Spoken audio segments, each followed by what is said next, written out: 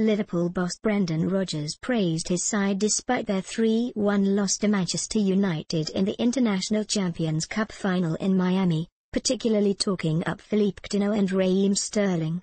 On the Brazilian midfielder, Rodgers could not confirm whether Coutinho had yet been offered a new contract with the Anfield outfit, but stressed the importance of keeping the 22-year-old at the club in the long term. Per David McDonnell and Sam Adams in the Daily Mirror, I'm not sure.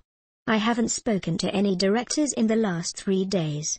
He's obviously someone we want to tie up for a period of time but I'm sure I'll hear more when I get back.